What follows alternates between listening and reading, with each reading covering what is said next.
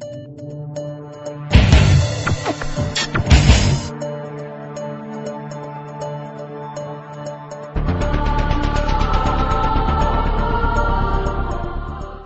mến, chào các em. Hôm nay chúng ta lại tiếp tục gặp nhau để rồi ôn luyện lại cái chương trình thi vào đại học môn anh văn của các em. Thầy mong một điều là các em trong các quá trình vừa qua hãy nhớ một điều là cố gắng ôn luyện toàn bộ và nhớ là ôn từ thấp tới cao, từ những cái đơn giản tới phức tạp để chúng ta có thể hệ thống lại một cách tốt đẹp. Thầy mong các em làm được điều như thế. Và điều thứ hai thì cũng mong các em là làm bài tập thật nhiều vào. Càng làm bài tập càng nhiều thì càng tốt.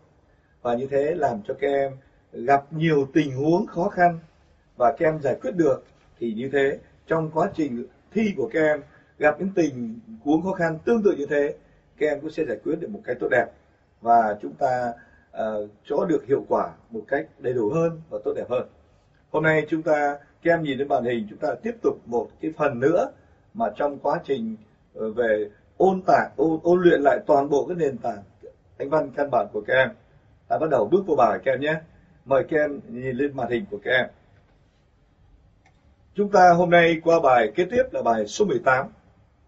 Bài nói về the relative pronouns. Tiếng Việt mình gọi là đại từ quan hệ này kèm. The relative pronoun là một đại từ quan hệ. Như thế nào đại từ quan hệ này kèm? Tức là cái từ mà mình để chỉ thay thế vào một cái từ mà mình đã được nói trước rồi đấy.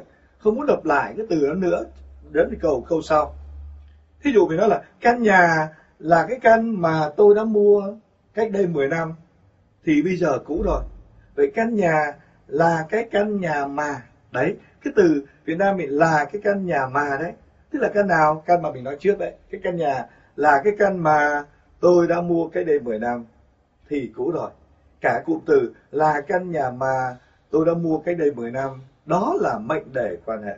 Tiếng Việt Nam mình hay nói thế, và mình có thể rút gọn là căn nhà mà tôi đã mua cái đây 10 năm, cái từ mà trong tiếng Việt mình đấy, đó là đại từ quan hệ. Khi bị rút gọn ở trong văn tiếng việt mình, đấy. Như vậy câu, căn nhà mà tôi đã mua cái đây 10 năm thì cũ rồi. Với cái từ mà tôi cách đây 10 năm cái từ mà đó là đại từ quan hệ dù để thay thế cái từ nhà lần trước. Đó như vậy. Mà nhà lần trước là vật hay là cái gì? Ta thay thế vào từ tương ứng với nó. Và đó là đại từ quan hệ chúng ta. Cái nói được không nào? Đấy nhé. Ta bước vô bài chúng ta. Thầy định nghĩa trên đầu tiên các em, definition, định nghĩa là gì? A relative pronoun, một đại từ quan hệ stand for, đứng thay thế cho. Stanford là đứng thay cho các em nhé. Đấy, coi như là the preceding noun. Preceding là đi trước, noun là danh từ. Or pronoun hay là một đại từ. Thay thế cho một danh từ hay một đại từ mà đi trước nó. Cái từ mà đi trước nó đấy, trong chuyên môn gọi là antecedent là tiền ngữ hay là tiền tức là trước đấy từ đi trước nó. đó thay thế cho một cái từ đi trước nó có thể là danh từ có thể đại từ và làm gì nào and introduce an adjective clause. Và giới thiệu một cái mệnh đề tính từ theo sau. Giới thiệu một cái mệnh đề theo sau nữa kèm thì đó là một đại từ quan hệ. Dùng để thay thế từ đến trước nó, rồi kéo theo một mệnh đề theo sau nó, của nó. Đó là mệnh đề quan hệ. Đi đầu một đại từ quan hệ. Và trên bảng của các em các em có thể nhìn thấy, thầy đã thí dụ, the man who is standing over there is my father người đàn ông là người mà đang đứng ở đằng kia kìa, là cha tôi is my father. Đấy, cái người đàn ông ông nào? Cái ông mà đang đứng ở đằng kia kìa. Đó the man who is standing over there? Chứ who đó Việt Nam mình là người đàn ông. Làm gì? Đang đứng ở đằng sau. Vậy chứ who đó thay thế cho the man đi đằng trước. The man là một người dùng chữ who làm chủ từ động từ sau, đang đứng ở đằng kia. Who is standing over there? Is my father. Như vậy, cái the man là người đi trước đó, người ta nói rồi. Thu đã không lặp lại từ the man nữa. Để lập lại một cái đại từ thay thế cho từ đó. Người ta dùng chữ who làm chủ từ từ who sau. Who is standing over there is my father. Vậy cái ông mà đang đứng ở đằng kia kìa là cha tôi. Đó là văn của tiếng Việt. Còn tiếng Anh là the man who is standing over there is my father. Hoặc cái thứ hai cho em, the table. Cái bàn which my mother bought yesterday. Cái bàn là cái mà mẹ tôi đã mua ngày hôm qua. Which my mother bought yesterday is beautiful. Thì đẹp. Vậy cái bàn mà mẹ tôi mua ngày hôm qua cơ. Chứ phải cái bàn mẹ tôi mua tuần trước hay tháng trước. Cái bàn là cái mà mẹ tôi đã mua ngày hôm qua. Xác định rõ là cái đó, cái bàn. Như vậy, cái từ which đó thay thế cái bàn trước. Cái mà mẹ tôi mua ngày hôm qua. Mẹ tôi mua cái gì nào? Cái quýt đó. quýt đó thay thế gì? Là cái bàn. Như vậy cái quýt đó nghĩa trong câu này là cái bàn. Và uh, the table which my mother bought yesterday is beautiful. Cái bàn mà mẹ tôi mua ngày hôm qua thì đẹp. Đó là lỗi của tiếng Việt mình. Nhớ các em. Vậy cái gì đến bảng? chú hu dùng thay thế cho cái gì nào? Cho người đi đằng trước. chú quýt dành dùng thay thế gì? Cho vật đi đằng trước. Vậy thay thế cho người ta dùng chú hu thay thế vật ta dùng chú quýt đó là nhìn hai câu để thôi kèm nhé. Ta bước qua phần kế tiếp, đó là dùng cái gì là kèm nhé. Đó là không định nghĩa của nó. Thì nhắc lại cái định nghĩa cơ bản đó nhé. Là uh, relative pronoun, một đại từ quan hệ dùng để stand for, thay thế cho the preceding noun or pronoun một danh từ hay một đại từ mà đi trước nó thay thế một từ đó nếu không có thay thế đó thì không đúng đâu các em nhớ nhớ điều đấy quan trọng cái danh từ thấy hoặc đơn trong đó đấy antecedent có nghĩa là tiền ngữ, tức là từ đi trước. Người ta gọi tiếng chuyên môn vậy. Và giới thiệu một mệnh đề theo sau. Đằng sau có một cái mệnh đề? Vậy cái đại từ đó dùng thay thế từ đằng trước đó. Nếu không thay thế từ điển trước đó, chứ nó không có từ gì cả, thì câu đó là không đúng đâu. Các em hiểu nào? Cho nên các em nhớ điều khái niệm như thế quan trọng. Đại từ thể dùng để thay thế từ điển đằng trước nó Ở trong bài thi các em sẽ đụng phải những cái câu mà nó cũng tương tự như thế, lót léo như thế, phải cẩn thận để người ta cho cái chỗ hu của chú ích trên bảng các em ấy là các câu uh, uh, trắc nghiệm A B C D. Em đánh vào lúc là chữ hu tức làm chủ từ lúc là chữ gì thì các em phải nhìn cho rõ. Và các chữ sau ta qua bảng kế tiếp các em nhé. Đây trên bảng phần đầu tiên thầy nói cho các em cái zero rule luật chung. Cái luật chung của nó đó các em cái nhìn bảng thế nào? Vậy trên bảng thì cái hình của nó các em thì ở trên đầu tiên nó gạch chéo xuống đấy. antecedent là tiền ngữ. Rồi bên tay phải, các em đặt person là người, dùng cho người. Rồi things and animal, dùng cho vật và những con vật. Đấy, cái giờ nếu có người thì ta dùng các từ đó. Còn vật và con vật, ta dùng các từ dưới. Như vậy, ở dưới từ antecedent có từ function là chức năng. Chức năng ta thứ nhất có ba chức năng trong đây. Một là subject, chủ từ. Khi làm chủ từ thì người dùng từ gì? Rồi object làm túc từ thì người và vật dùng chữ gì?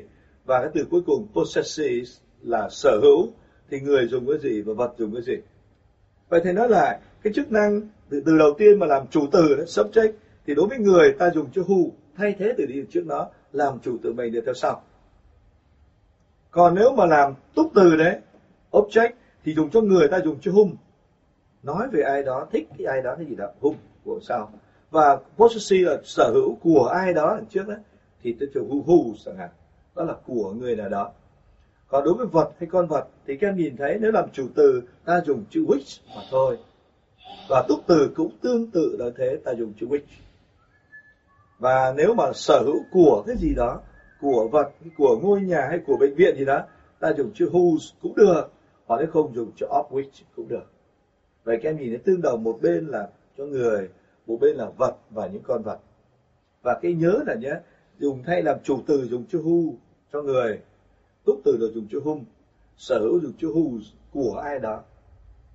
Và dùng cho vật, con vật thì ta nhất cơ bản là chữ which which hoặc là của cái con vật đó hay người đó. À, của cái cái vật đó hay là của con vật đó, ta dùng chữ whose hoặc là of which đó là cái luật chung trên bảng các em. Nắm tổng quát sơ bộ. Và sau đây thì mình bước qua những cái thí dụ của nó. Các em sẽ nắm rõ hơn các em nhớ cái bài này nhé. Xem đi xem lại coi là cẩn thận được không để trong quá trình làm bài các em nhìn thấy rõ ràng. Nhớ một điều là dùng cho người mà làm chủ từ là hu dùng cho người làm túc từ là dùng hung và dùng cho người làm sở hữu của ai đó đằng trước đấy ta dùng chữ who. Cụ thể, mà cho vật thì dùng which làm chủ từ. Túc từ thì dùng which luôn. Và sở hữu từ à, sở hữu thì ta dùng chữ whose hoặc là chữ which như thế các em nắm được cẩn thận nhé. Ta bước qua những câu thí dụ sau để ta nắm rõ hơn cái phần đấy.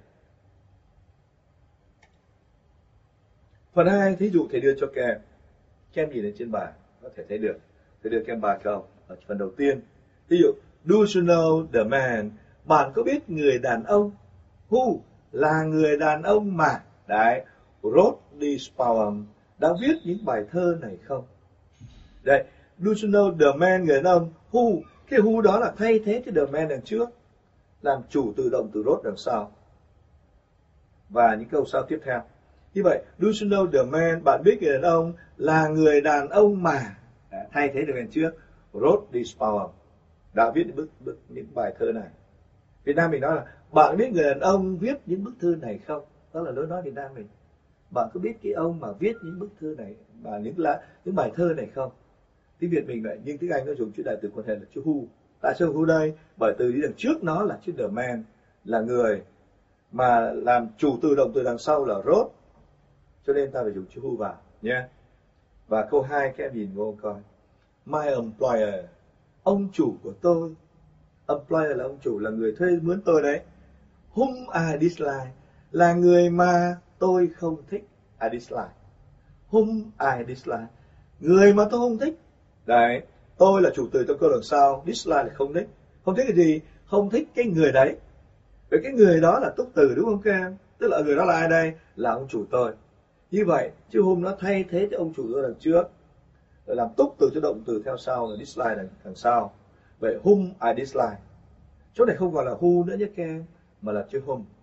Vậy my employer ông chủ tôi whom I dislike? Ông chủ tôi là người mà tôi không thích các em thấy không? À, sau một mệnh đề chủ từ động từ thì đối với người ta dùng chữ whom thay thế thì vào đằng trước.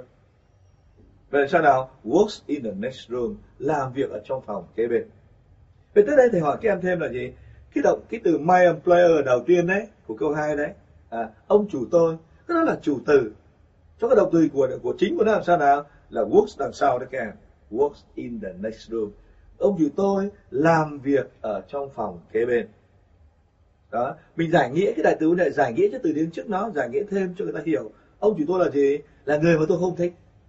Whom I dislike đó nè, thì làm việc phòng kế bên. Giả dụ các em bỏ cái từ whom I dislike đi đấy, bỏ che đi, thì còn từ là gì? My employer works in the next room. Ông chủ tôi làm việc ở phòng kế bên thì vẫn còn đầy đủ nghĩa câu.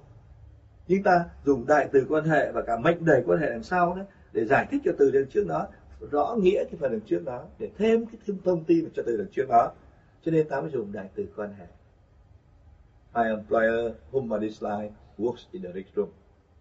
Và dưới thì chữ whom nó tức là object of this line là túc từ của động từ this line không thích cái gì, không thích ai, không thích whom. Whom là ai đây? Whom nó là employer. Nha các em câu B ở dưới các em is that the man for whom you have been waiting? À, is that the man? Đó có phải là người đàn ông? Mà for whom? Vì người đó you have been waiting. Bạn đã và đang chờ đợi không? Bạn đang chờ đợi. Có phải bạn cái người đàn ông mà bạn đang chờ đợi không? Đó là nói tiếng việt. Mà nhớ đó là người đàn ông mà bạn bạn đang chờ. Bạn là chủ từ đã và đang chờ. Chờ ai? Chờ ai? Đó là túc từ đằng sau. Hôm đó là ai đây? Là cái the man. Còn chữ for đi với chữ wait for đấy chờ ai thì wait, wait for động từ wait for anh được em như vậy uh, that is the man for whom you have been waiting. Anh thấy đấy các em. Đó phải là người đàn ông là người mà bạn đã đang chờ đợi người đó không? Chứ hôm đó là object of for là túc từ của for. Anh là các em. Và thí dụ câu số 3 Alex Cox is a man whose opinion I respect. Yeah okay Alex Cook là gì? Ông là gì đây? Is a man là người đàn ông mà whose opinion? Đó, whose opinion? Nghe thấy không? Opinion là ý kiến. Ý kiến của người đó. Who? Who là của người đó. Sau cho who là phải danh từ các em nhé. Thì là của cái gì của người đó? Mà chu đã thay thế cho gì là nào? Thay thế cho ở man đằng trước. Tức là của người đàn ông đấy. I respect. Tôi rất là kính trọng. Vậy Alex Cook là người đàn ông mà ý kiến của người đó tôi rất là kính trọng, rất là tôn trọng, respect. Như vậy, Alex Cook is a man whose opinion, ý kiến của người đó chú đó I respect. Anh biết chữ who không nào? Anh nhớ cái who được thay thế cho từ đi đằng trước là người những động từ làm sở hữu cho từ đằng sau, cái gì của nó? Thì ta sẽ cho whose vào đó, ok? Và thí dụ ở dưới là các em that's in the girl đó là cô gái mà whose father? Cha của cô ấy. Thấy chưa? Cha của cô ấy works in the factory. Vậy chứ who father là cha của cô ấy? Làm việc ở trong. Đó là các em. Như vậy chứ that's is the girl whose father. Cha của cô ấy. Cô là cô nào đây? Là cái girl đằng trước. Em hiểu nào?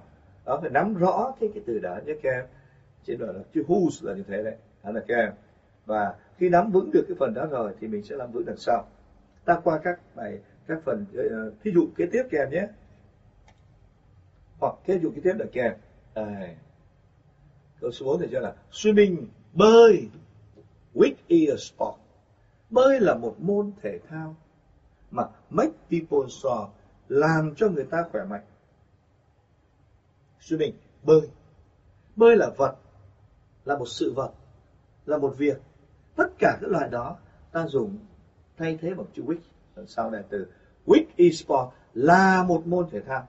Thì which đó thay thế swimming đằng trước người ta thể là swimming bơi rồi swimming is a sport bơi là một môn thể thao. Mà người ta không viết hai cái chữ đó cùng lúc nhau như thế người ta dùng một đại từ thay thế vào đấy. Và cái đó là chữ which vì với là swimming là vật sự vật một việc swimming. Vậy bơi là, là cái môn bơi là cái là một môn thể thao. Which là cái là một môn thể thao. Là make people strong làm người ta khỏe mạnh. Ở câu số 4 anh nói theo này. Hoặc câu số 5 các em nhìn vô. Đấy. The flower which you brought are beautiful. Những cái bông hoa, the flower which mà, những bông hoa mà you brought bạn mang tới. Những bông hoa là những bông mà bạn mang tới are beautiful thì đẹp.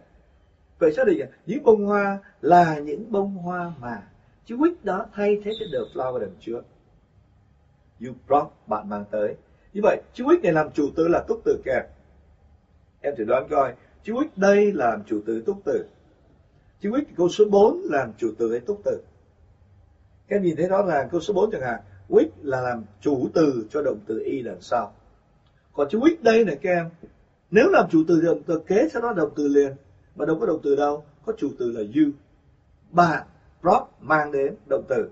You prop bạn đã mang, vậy là có chủ từ động từ rồi. Vậy mang cái gì? Mang cái with đó. Mà with đó là cái gì? Thay thế trước, là cái được flower.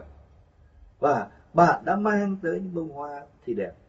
Đấy, chỉ chữ with đây không phải là chủ từ, mà nó là túc từ. Nên là bạn đã mang những cái đó.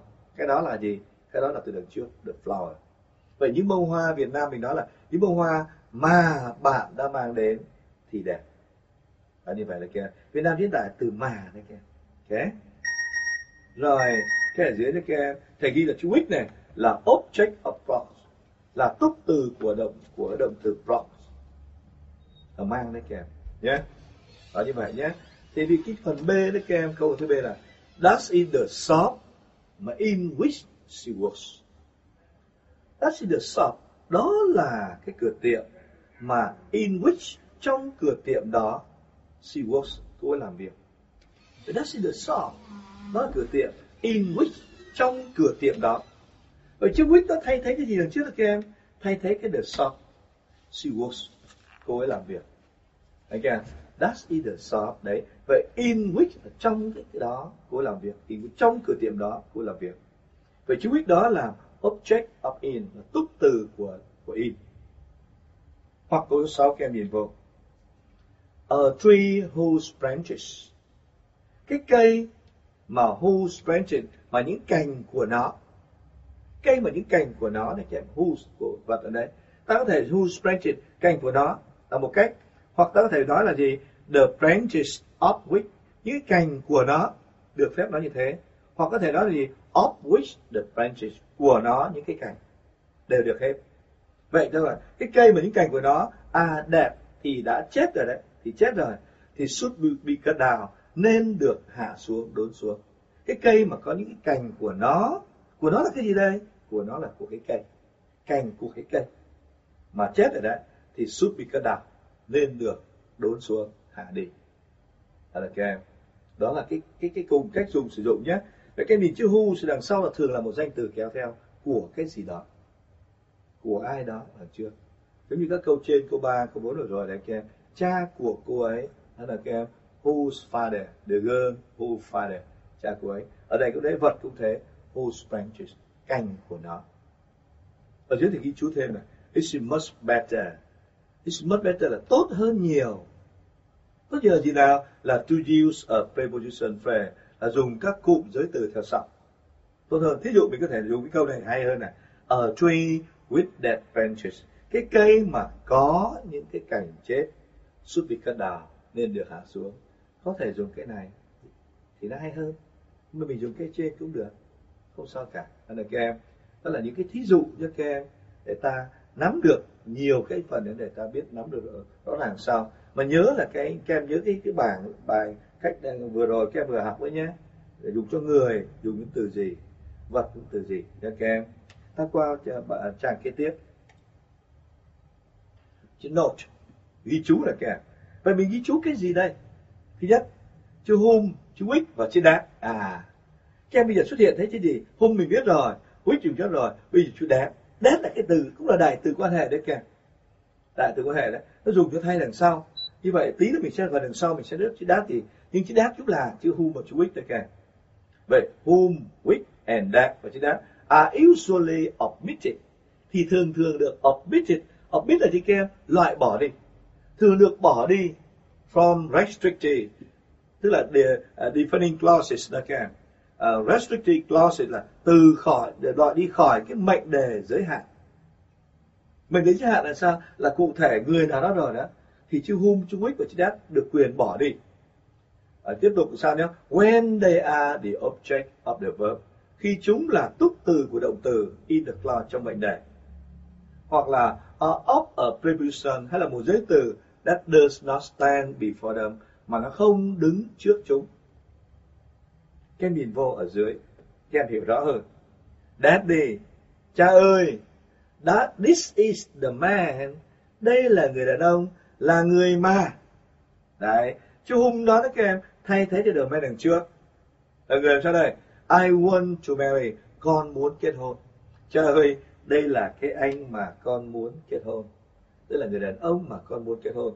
Vậy cái the man là người đằng sau đó con muốn kết hôn. I want to marry. Kết hôn với ai đây? Với cái người đấy. Vậy thay vì chứ đều dùng the man tiếp người ta dùng to whom là đại từ quan hệ. Làm túc từ cho phải đấy. Dùng whom cũng được đây. Và chữ đáp có thể dùng thay thế chữ whom này bởi vì từ trước là xác định cụ thể rồi. Có thể dùng thay thế chữ đáp ở đó. À, một trong hai có đều được hết. Nên là một trong hai cái không được để hai cái như vậy this is the man whom I want to marry hoặc là this is the man that I want to marry đều được nhưng còn một cái là gì trong đây mệnh đề giới hạn tức là cụ thể chính một người đó thôi không phải không phải nói chung chung thì ta quyền bỏ chữ whom một chữ that đi bỏ luôn cái đó đi như vậy nếu bỏ luôn thì còn sao nào Daddy, this is the man I want to marry. Cha ơi, đây là người đàn ông mà con muốn kết hôn. Có quyền bỏ đi phần này trong đại từ giới hạn. Nhớ các em. Hoặc câu cái thứ hai, the flowers, những cái bông hoa, which là bông hoa mà, hay là chữ đất cũng được. You brought, bạn mang đến thì đẹp. Những cái bông hoa là những bông mà bạn mang đến thì đẹp. Xác định đó là những cái bông hoa ở đây là này, người ta cầm đến đây rồi. Chứ mà những bông hoa còn đang ngoài chợ hay là cửa hàng nào đó những bông hoa mà bạn mang đến này xác định rõ ràng giới hạn chỗ này thôi thì đẹp thì vậy cái thay thế bằng chữ bông hoa là một vật cho nên quýt thay thế cho đó hoặc chữ đất thay thế cho chữ quýt cũng được thì hai chữ đó bị xác định rõ ràng là những bông hoa rồi. Ta quyền bỏ đi which đã bỏ đi. Và câu đó ta có thể nói là the flower you brought are beautiful. Những cái bông hoa mà bạn mang đến thì đẹp. Hoặc câu ở dưới kèm The man, người đàn ông là người mà we voted for. Chúng tôi đã bầu cho. Thì won the election. Thì đã chiến thắng cuộc bầu cử. Và những cái người mà chúng tôi bầu cử cho đó, đi bầu cho đó thì đã chiến thắng chiến thắng rồi, thắng cuộc bầu cử rồi. Vậy xác định là đó những cái người mà chúng tôi bầu. Những người chứ không phải là những người khác. Cái người cái nhóm người đó cụ thể rồi. được về những người mà chúng tôi bầu cử cho. Như vậy là người là là là là là, là, là The man là người, cho nên dùng đại từ. Chúng tôi bầu cho ai đây? Cho những người đó. Vậy người là túc từ, ta dùng chữ hùng. Và chữ đét có thể thay chữ hùng trong trường hợp này. Nhưng người ta có thể bỏ luôn cả chưa hôm một chị đẹp đi. Như vậy câu này còn có thể được nói là the man we voted for won the election. Em đoán được không? Có thể để bỏ đi. Nếu trước đó là một một một cái cái cái uh, cụ thể một mệnh đề giới hạn cụ thể ai đó rồi cái việc gì rồi cụ thể mệnh đề giới hạn có rồi. Ta qua phần trang tiếp nhé. Phần ghi chú thứ hai là kèm gì này? Là chữ which which me ở a whole preceding clause chữ which có thể có một cái gì nào? Ở whole preceding clause whole là toàn bộ. Preceding là đi trước clause là mệnh đề tức là nó có thể chữ which cũng có thể thay thế cho cái gì nào? Cho một cái mệnh, toàn bộ một mệnh đề đi trước đó. Cả một mệnh đề đi trước. Thì sao là chữ which as is antecedent. Như là một tiền ngữ của nó. Cả mệnh đề đi trước nữa kìa. Như là một, được coi như một tiền ngữ đó thì chữ which được dùng thay thế nó và which is e equivalent to. Which thì có là tương đương với chữ gì? Có thể dùng chữ and this cộng với danh từ đằng sau hoặc and that cộng với danh từ đằng sau đều có thể được dùng. Như vậy cả mệnh đề đằng trước thay thế bằng sau là một chữ which cái gì đó đằng sau? Các em nhìn lên bảng, thí dụ sau ví dụ, he invited us to dinner. Ông ấy đã mời chúng tôi tới ăn tối. Ông mời chúng tôi tới ăn tối tức là cả một cái việc là ông mời tôi tôi tới. Tối thì quyết là cái mà. Vì chữ quyết đó thay thế cho cả mệnh đề đi trước là he invited us to dinner. Ông đã mời tôi đi tới ăn tối cả cái việc mời chúng tôi đi ăn tối đó là cái mà. Chữ quyết đó. Thì sao? Was very kind him. Thì đó là rất là tử tế đâu ông ấy. Tức là ông ấy rất là tử tế. Ông đã mời chúng tôi đi ăn tối vậy cả mệnh đề đằng trước đó thay thế bằng chữ quyết. Cái đó là gì đây? Was very kind him có thể dùng chữ this, that và cái điều này thì rất là rất là tử tế, ông ấy. And that là cái điều đó thì rất là tử tế, ông ấy. Đều có thể được dùng. Hoặc, câu kế tiếp, they won the medal at last. Họ đã đã đoạt được huy chương at last là cuối cùng. Cuối cùng họ đã đoạt được huy chương. Đấy, which là cái mà mà cái gì? Delighted the school. Làm làm phấn khởi hồ hởi cả trường học như vậy cái việc họ đạt được huy chương cuối cùng đó thì điều đó làm phấn khích cả trường học. Cả mệnh đề đi trước là đây won the video đạt là họ đã uh, chiến thắng huy chương cuối cùng cuối cùng mới chiến thắng được. Sau bao nhiêu gian khổ they won the video đạt là cả cái việc đó, đó which cái việc đó làm sao này làm phấn khích cả trường học. Which delighted the school. Có thể dùng chữ and this victory.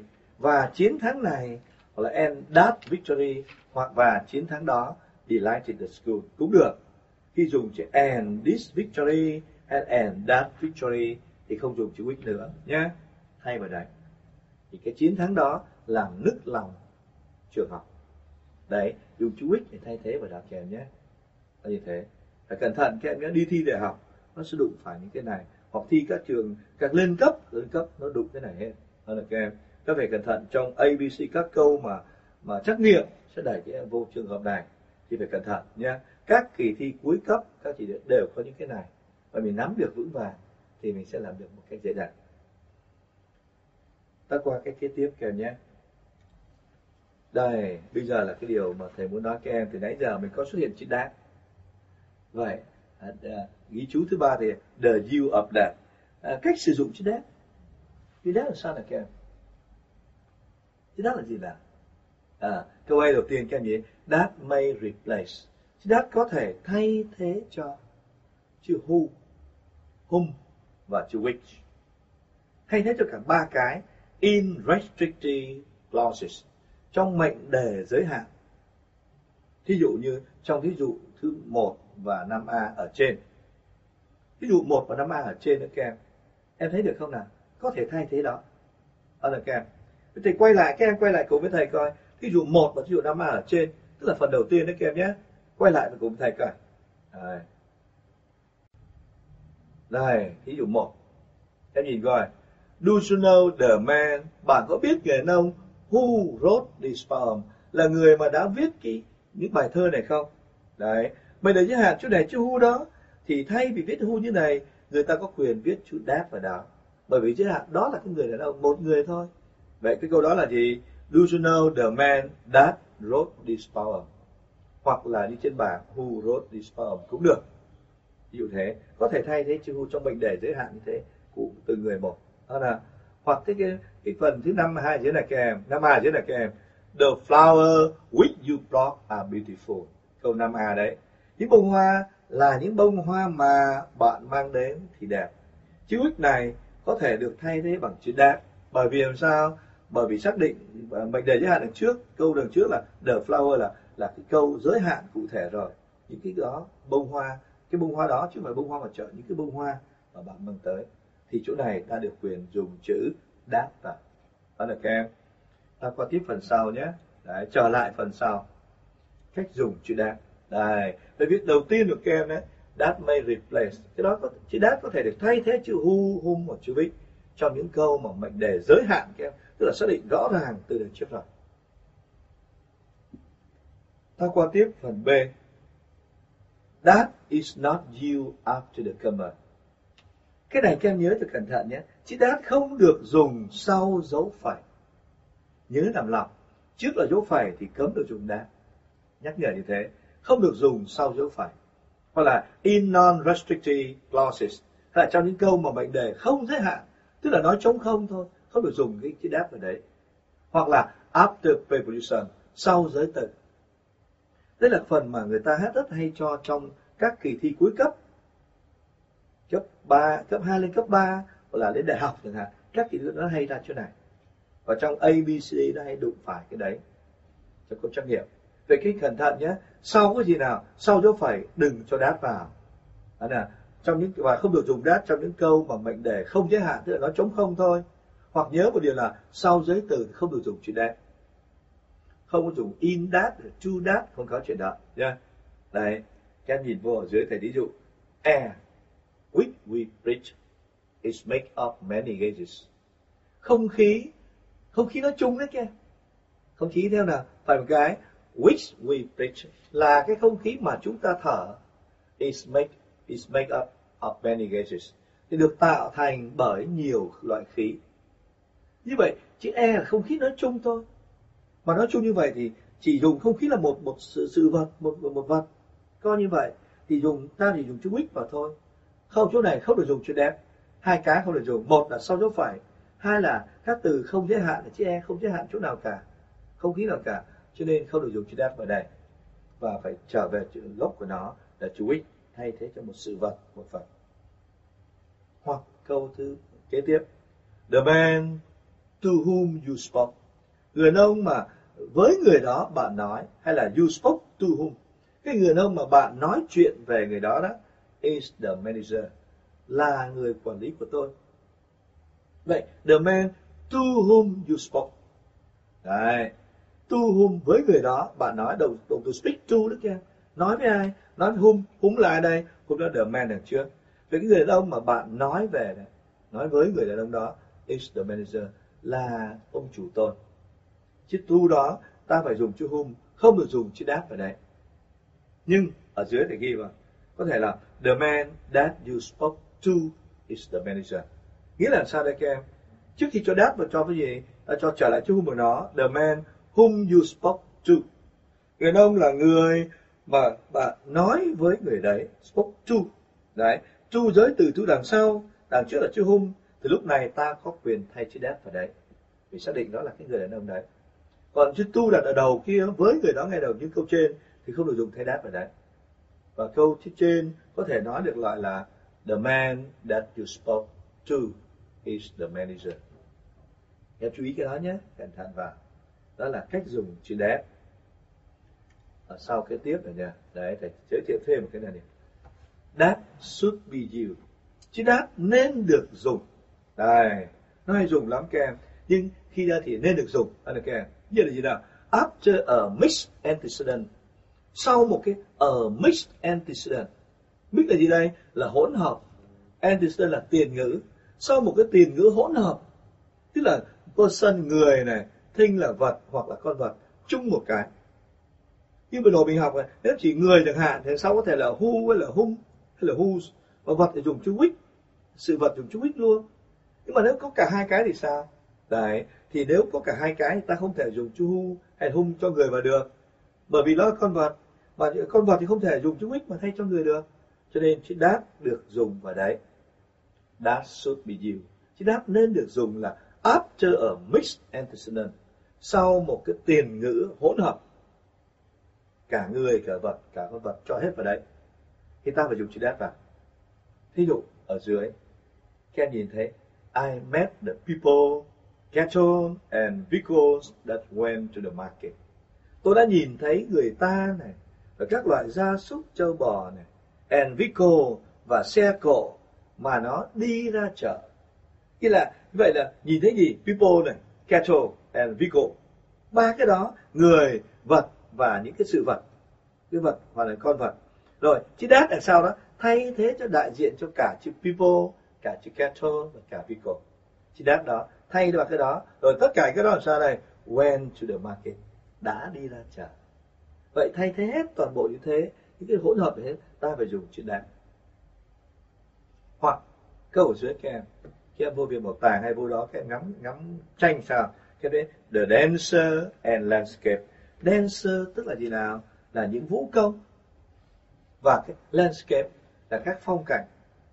Là cái mà he painted. Ông ấy vẽ đó. Were very vivid. Thì rất là sống động. Và những cái vũ công, những người khiêu vũ, những người vũ công và những phong cảnh cảnh vật đó mà ông ấy vẽ. Vậy chiếc đát này đó là thay thế cái gì nào? Ông vẽ cái gì đây? Ông vẽ cái đát đát là gì nào? Là cái vũ công và những cái phong cảnh vật ở lần trước vậy chữ đất nó thay thế cho cả hai cái. Một là dancer hay là landscape và làm túc từ cho động từ he painted đằng sau. Ông ấy đã vẽ vẽ cái gì? Vẽ cái đát đó. Đát là gì? Đát là cái dancer và landscape đằng trước. Đây, về câu này là đúng là vậy. The dancer and landscape that he painted were very vivid. Những cái vũ công và những cảnh vật mà họ mới vẽ. Tất cả đó làm sao đây? Thì rất là sống động. Chị đáp như kia nhé nhớ được dùng sau các các cái từ mà chỉ uh, ờ, hỗn hợp. Các em nhớ điều đó nhé. Nhất là các em chỉ chuyển cấp ở đại học hết sức quan trọng. Người ta hay gạt cái này lắm nhớ và chữ đáp đó người ta để chống các em. Ví dụ câu số 1 I met the people cattle and vehicle Đáp, người ta bỏ chống đấy. The went to the market. Thí dụ ta câu đấy chẳng hạn. Thì câu A người ta cho đáp, câu B người ta cho chữ who rồi chữ C rồi chữ which rồi gì đó. Thế nào cái và các em không nắm được cái đó các em cho hu vô cũng chết, mà Quýt vô cũng chết. Hay là các em, cẩn thận nhé các em, hỗn hợp ta dùng chữ đẹp.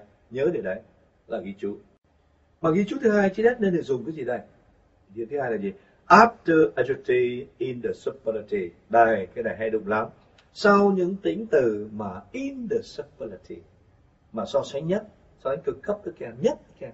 Sau cái gì mà nhất nhất nhất, các em nhớ điều đó nhé. Trong đi thi gặp đụng nhiều lắm. Sau cái gì mà tính từ mà nó chỉ nhất và đại từ sau đó thì ta phải dùng chữ that vào.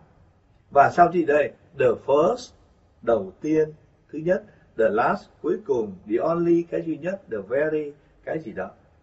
Đằng sau đó là các em. Như vậy, sau những cái giới tính từ mà chỉ như vậy, thì ta phải dùng chữ that vào. Các em nhìn vùng thí dụ ở dưới. He is the kindest doctor that I ever worked with. Đó là người bác sĩ ông ấy thì ông ấy là bác sĩ mà tử tế nhất tốt nhất được kindest được kindest doctor ông là người bác sĩ mà tốt nhất tử tế nhất. Mà người đó I ever worked with tôi đã từng làm việc với người đấy. Chữ that ở đây ta không được dùng chữ hung làm việc với người đó mà ta phải dùng chữ đét. Bởi vì làm sao bởi vì đi trước là the kindness, the kindness là so sánh nhất để kèm. Và he the kindness doctor that I ever worked with các em phải dùng chữ nét vào đây. Trong đề thi nhé.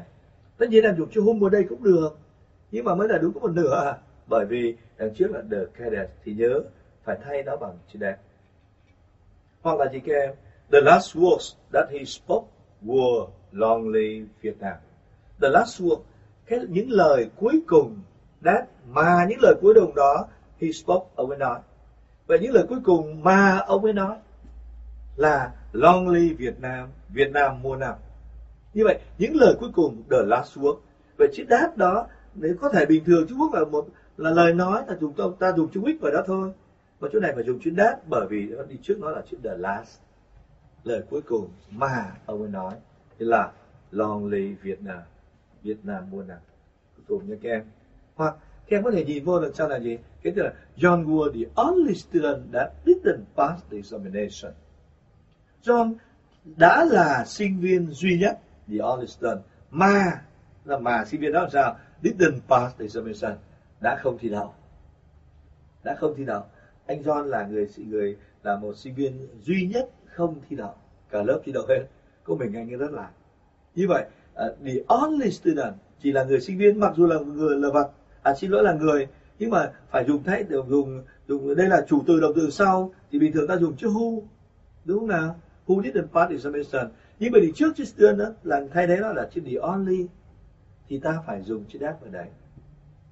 Cho nên câu gọi là John was the only student that didn't pass examination.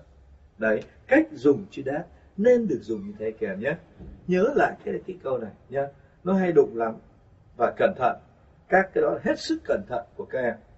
Và đặc biệt cái phần vừa C trên bảng kèm ấy. À, nhớ là trong đời là gì? Là các cái tiền ngữ hỗn hợp, hoặc là theo những cái đại, cái so sánh nhất của nó superlative hoặc là những cái từ the first, the last, the only, thì phải nắm cho nó vững và sau đó ta dùng chữ đại, nha. Đi thi các em mất mất điểm mà mấy cái này buộc lắm, cho nên phải coi cẩn thận lại, nha các em.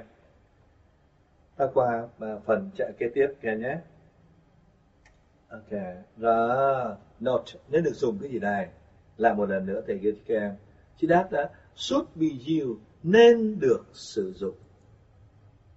Ba cái nên này được kèm nhé. Bây giờ là, sau gì này up to most indefinite pronoun. Sau hầu hết những đại từ bất định. Này sau tất cả những cái từ bất định này, thì hầu hết đó các em nên dùng chữ đáp ở đấy. Ví dụ, chữ all, tất cả. Tất cả, thì sau ta dùng chữ đáp vào much nhiều, little, ít any, một số, một vài. None, không có gì. Nothing, không có gì cả. Anything, bất kỳ cái gì. Nobody, không có ai. Everything, mọi thứ chấm chấm. Tất cả những đại từ bất định, đằng sau đó ta nên dùng chữ đen. Và đấy là những phần thi nữa, kìa. Để thay gài các em những câu này. Các em làm được như vậy thì điểm các em tăng lên. Thường gài cho những cái câu mà người nào học kỹ càng vô, thì lấy lấy điểm giỏi. Bình thường các câu khác ai có thể làm được câu hóc búa lên tí thì người ta đưa vô. Để lấy điểm cao hơn, sở dĩ người ta điểm giỏi là vậy kìa rồi thì người ta nắm được những từ này. Ví dụ, các em nhìn vô. Have you got all that you need? Cái gì có thể nhìn cái là, bạn có có được tất cả những cái mà bạn cần không? Have you got all that you need? Bạn có có đủ tất cả mọi cái mà bạn cần không? Đấy, have you got all tất cả that dùng chữ đáp vào đó. Ôn tất cả biết tất cả cái gì đâu. Có thể là là uh, sách vở bài hay là tất cả mọi thứ. Ôn. Ta dùng chữ đáp sao? Đáp vì thay thế chữ ôn bởi vì trước nó là chữ ôn. Ta bắt buộc phải dùng chữ đáp. Đáp you nên bạn cần không? Hoặc là gì? Much nhiều cái. That mà I have ever read tôi đã từng đọc. Thì untrue thì không đúng. Nhiều cái mà tôi đã từng đọc. Vậy chứ mất nó đi đầu sau đó chữ đáp hay với nhiều cái gì mình không biết. Nhiều sách vở nhiều các phim ảnh nhiều các cái gì. Mà tôi đã từng đọc sách gì đó nhiều đọc bao nhiêu thứ sách rồi từng đọc y untrue thì không đúng. Thì ta phải dùng chữ that thay thế chữ mất hoặc chưa? Hoặc câu kế tiếp kìa, I have never known anyone that is as lovely as our teacher.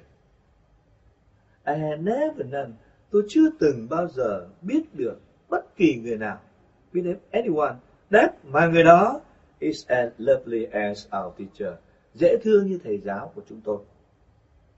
Đấy, I have never done anyone, phải dùng chữ that vào bởi vì đằng trước là dùng chữ anyone, chưa từng biết đến người là người nào mà người đó dễ thương như thầy giáo của chúng tôi.